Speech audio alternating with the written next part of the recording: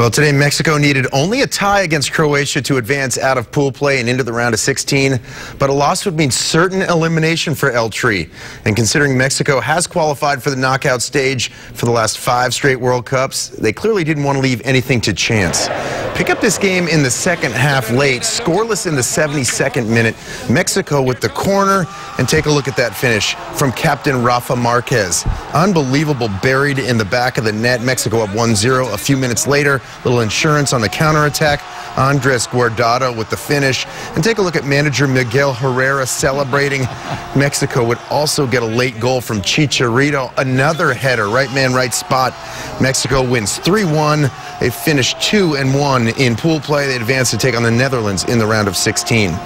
And talk about excited. Look at the crowds down in Mexico City that gathered to watch the game. Thousands cheering on El Tri and the elation after Mexico scored the first goal. No official estimates on how many people were out there against the Croatia in the Croatia game, but you can assume it's going to be even more on Sunday when they take on the Netherlands. Turning now to the host nation, Brazil, always seem to always seem to have some of those talented players in the world, from Pele to Ronaldo. This year, all eyes are on 22-year-old Neymar. He's turning a, he's just got an unbelievable skill for such a young guy taking on Cameroon.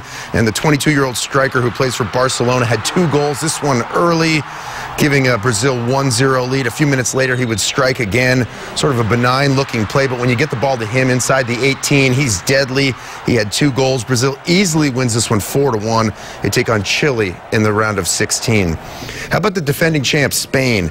Even if they beat Australia today, they would not advance to be able to defend their title, and they did get the win. One of the best goals you're ever going to see, 37th minute, David Villa. And this is probably the goal of the tournament so far. The little back heel.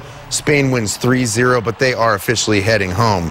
In the fourth game, Chile versus the Netherlands, facing off to decide who would win Group B. Scoreless in the 76th. Right off the bench for the Dutch, though, Leroy Fer with the header. No doubt about that one. They would add another one. They win 2 to 0. They win Group B, going a perfect 3 0. Mexico will certainly have their hands full on Sunday against the Dutch. And finally tonight, less than 24 hours after their heartbreaking tie against Portugal, the U.S. men's soccer team, they were right back at it, working out in preparation for Thursday's game against Germany.